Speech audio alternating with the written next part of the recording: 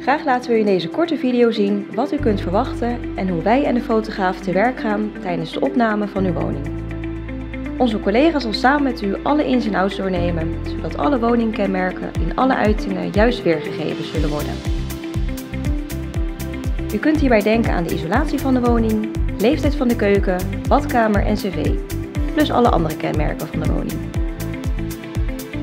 Daarnaast zal onze collega de woning opnieuw gaan inmeten om naderhand digitale plattegronden uit te werken. In de tussentijd doet de fotograaf zijn of haar werk en zullen alle ruimtes van de woning op beeld worden vastgelegd. Ten slotte zal onze collega u vertellen hoe de verdere procedure zal verlopen en zal zij de sleutel van uw woning in ontvangst nemen. Het te koop wordt volgt al snel een aantal dagen later zodra de woning te koop wordt aangeboden.